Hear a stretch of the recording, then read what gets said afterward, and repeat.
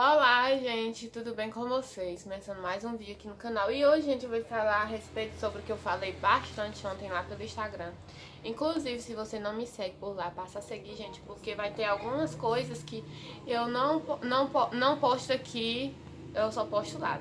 Como todo mundo, gente, que trabalha com a área da internet, né, que tem o Instagram, posta algumas coisas lá no Instagram que não posta aqui. Então, gente, não me segue lá, passa a seguir, tá? Porque é pra ficar por dentro de tudo em primeira mão. E assim, gente, hoje eu vim falar pra vocês a respeito da micropigmentação que eu fiz na sobrancelha. Vocês podem ver aí, ó, o que eu fiz. Mas antes disso, gente, eu quero falar que vocês estão vendo aí umas manchinhas, né, na, durante o vídeo. É por conta, gente, que apareceu um trincado bem em cima da câmera frontal do meu celular.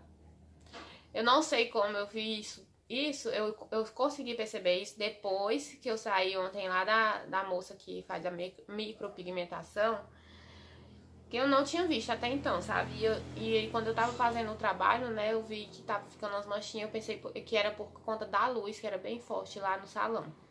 Mas aí depois que eu cheguei em casa, as manchinhas continuaram e eu descobri que é um trincado bem em cima da câmera do celular. Então, eu, eu vou continuar gravando assim, na qualidade mais, mais ruimzinha até eu consertar ou comprar um novo aparelho, né? Vamos ver como é que vai ser no decorrer do tempo. Enfim, gente, sobre a micro, micropigmentação.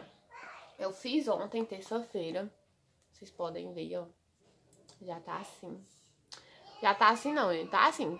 Tá como se fosse feito hoje, né? Por conta que só tá um pouco menos inchado do que ontem. Ela me, me deu uma pastazinha, uma pomadinha ela me deu uma pomadinha pra mim tá passando. Eu acabei de lavar essa área aqui do rosto. Eu acabei de acordar também e saiu a pomadinha, né? Então agora eu já vou passar uma vez.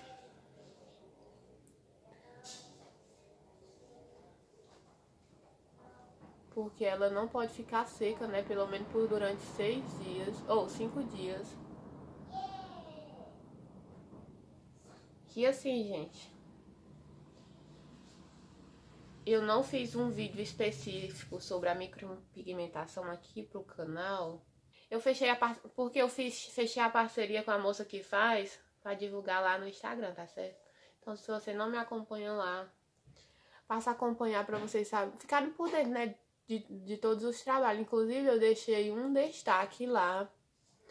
Deixei salvo nos destaques os videozinhos que eu gravei sobre. E vocês vão conseguir ver mesmo depois das 24 horas, né? Se vocês forem lá dar uma conferida. Aí eu fechei a, a parceria com ela pra poder fazer a divulgação no Instagram, né? Pra divulgar o trabalho dela no Instagram. Então por isso que eu não fiz a... Então por isso que eu não fiz um vídeo específico para cá. Assim, gravando o passo a passo, né? O antes, o durante e o depois. Não fiz pra cá por conta que que eu por causa disso, né? Porque eu fechei a parceria para divulgar lá. E assim, eu tô aqui gravando é, pra, pra mostrar pra vocês, por conta que nos próximos vídeos já vou aparecer com a sobrancelha micropigmentada, né? Os próximos vídeos não, esse e os próximos, né?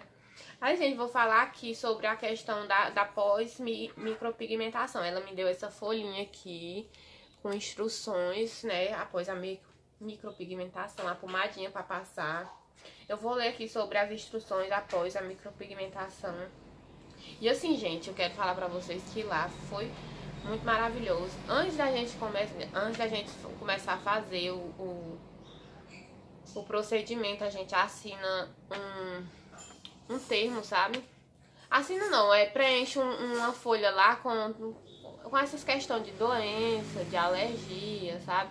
A gente informa o que tem e o que não tem, sabe? E também assina, né? É como se fosse um termo. E também a gente é, assina um termo de imagem, sabe? Porque ela tira foto pra postar no Instagram e tudo mais. Então, muito bem pensado nisso, né? Pra ela depois não ter problema com, as, com, com questão judicial, né? Depois, porque é, tem, é como se fosse um contrato, né? Que a, que a gente assina lá. Então, gostei bastante dessa, dessa proposta, sabe? Porque é, nem todo canto tem essas coisas, né? Às vezes usa as imagens da gente sem nem a gente autorizar. Às vezes a gente sai parecendo um troço bem esquisito. Mas enfim. Eu vou ler aqui sobre essa, essas instruções aqui, ó. Enfim, gente, vocês podem estarem acompanhando, sabe? Inclusive, tá, ela tá marcada nos stories que eu fiz sobre a micropigmentação. Se vocês quiserem conhecer o trabalho dela, é só ir no meu Instagram, tá certo? E através do meu Instagram vocês vão conseguir o, o Instagram dela também para conhecer o trabalho dela. E aqui, ó, no, no, momento em que é feita a micropigmentação, a região pode ficar escura e apresentar inchaço. Vocês podem ver, ó, que ela tá bem escura, que com o tempo ela vai clarear. É, depois da micropigmentação feita, a gente faz o retorno de 30 dias, né? Ó, ela, ela fica bem escura assim. E vocês estão vendo que ela tá um pouco inchadinha também, né? Ó, dá pra ver. Como fala assim. Não molhe a sobrancelha por 5 dias. Eu tô molhando só essa região aqui, ó. Sabe? Hidratar com a pomada cicatrizante três vezes ao dia por 5 dias. Tá aqui a pomadinha. Já passei a primeira vez agora, né? Não use maquiagem no local até completar o, ci o ciclo cicatrical. Não fazer peeling, esfoliação ou ácido na pele até completar 30 dias. Lave bem as mãos antes de tocar na sobrancelha, pois a mesma pode ser contaminada e formar secreções. Eu lavei as mãos antes, de começar a gravar o vídeo aqui, gente. Eu tá, fui até escovar o dente e já lavei essa área, lavei as mãos e passei a pomada, né? Não tomar sol na sobrancelha por 30 dias após esse período, utilize protetor solar para maior durabilidade. Evitar praia, piscina e sauna. Em uma semana, a micropigmentação irá formar algumas casquinhas que não, que não poderão ser arrancadas. Nesse período, a micropigmentação ficará mais clara e com falhas. Não se apavore. Aconselha-se não comer marisco e carne de sol por serem hiperalérgicos. Eu que já não sou uma pessoa alérgica, né? Aí que tem que evitar mais ainda. Se houver edema sobre um plástico filme, colocar gelo em volta do local pigmentado. Evitar expor-se a vapores e atividades que abram os poros na primeira semana. O cortisol elevado pode atrapalhar na cicatrização e interferir o resultado. Cliente calma, confiante e tranquilo tem um melhor resultado. Ou seja, eu tenho que ficar bem zen por, por pelo menos essa semana para poder ter um melhor resultado. Eu confesso que de ontem para hoje estou super tranquila, bem calma. Nem me reconheço. Brincadeira, gente, a parte. A sobrancelha micropigmentada dura em média 12 meses, dependendo dos cuidados e do tipo de pele. E o mais importante, não aceite opiniões de pessoas que não entendem. Se tiver dúvidas, procure a profissional que atender. Então, assim, gente, eu achei bem bacana ela ter essa fichazinha de instrução após a micropigmentação para poder a gente ter mais um embasamento, né, sobre como cuidar, o que não pode, o que pode, o que não pode. Vocês vão ver lá nos stories do Instagram que eu fiquei muito feliz. E tô muito feliz, eu só estou assim meio sonolenta ainda, gente, porque da segunda pra terça-feira eu dormi umas três horas, eu acho, só. Aí, quando foi hoje, na quarta-feira que eu tô gravando esse vídeo, eu meio que coloquei o sono em dias, aí eu estou com o rosto um pouco inchado, porque eu dormi demais. E também no, quando assim que a gente acorda, a gente não consegue demonstrar muito as emoções que a gente tá sentindo no momento.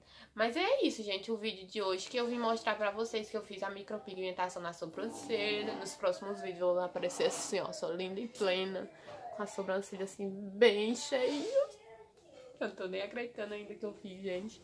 Era uma coisa que eu queria muito, sabe? Eu não era de estar tá demonstrando pra vocês que queria, sabe? Que queria fazer não gosto de estar tá expondo assim direto, que eu quero vai que. As, nem todo mundo que assiste a gente tem, quer ver a gente bem, a gente feliz, conquistando o espaço da gente, né? Conquistando as coisas da gente. E é como diz o ditado, quanto menos fala, mais coisas acontecem, né?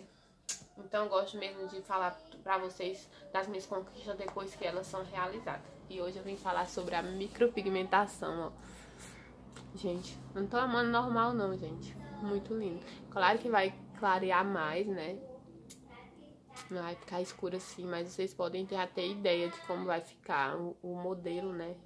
Tô apaixonada. Minha sobrancelha ela já era arqueadinha, assim. Gente, ela, pra, pra ter ideia, ela teve muito trabalho pra fazer minha sobrancelha, gente. Porque a minha sobrancelha, a do lado direito, ela era mais cheinha. e tinha. E é mais arqueada do lado direito, sabe? Porque eu sempre tenho o costume de estar tá levantando só uma sobrancelha assim. E desse lado esquerdo, ela era mais falhada, sabe? Tinha bem um buraco aqui, era mais era mais rala, mais fina. Ela teve muito trabalho para poder deixar um, uma uma coisa harmônica, sabe? Bem parecido, porque minha sobrancelha quando eu vou fazer, eu ia fazer com com maquiagem, eu tinha bastante trabalho. Imagino com com a micropigmentação, né? De trabalho para pobre, viu? ah, gente, eu vou só mostrar aqui pra vocês como é que tá meus dedos. Estão bem melhores. Não vai dar pra ver? Ó. Já estão praticamente 100% sarados. Só falta é, sair aquelas casquinhas secas. Terminar de sair. Porque é muito ruim, gente, quando a gente vai mexer no cabelo. Fica enganchando os dedos na, as casquinhas, né, no, no cabelo, mas estou bem melhor, graças. É, obrigada a todos pelas orações que fizeram para me melhorar. Funcionou, gente, estou aqui pronta para outra. Não, pronta para outra não, porque eu não quero passar por isso mais nunca. Eu acho que foi a minha, acho não, tenho certeza que foi a minha pior crise alérgica nos dedos, mas eu já tô bem, tá bom? Inclusive, eu vou já passar a pomadinha que tá querendo começar a coçar aqui minhas unhas, meus dedos, né? Ó, tá querendo começar a coçar, chega tá vermelhinho como, querendo começar a coçar, não, tá coçando já. Vou passar uma pomadinha que ela é pra prevenir a coceira, sabe? Ou cessar a coceira que já existe, existe no local. Não sei nem onde eu botei, mas vou passar aqui. Mas é isso, gente. Minha, minha alergia melhorou e está quase totalmente sarada. Mas enfim, gente, esse é o vídeo de hoje. Espero que vocês tenham gostado dessa novidade. Que eu vou aparecer com essas sobrancelhas agora todo dia. E espero que vocês tenham ficado felizes assim como eu estou, né? Então até o próximo vídeo. Beijão e fiquem com Deus.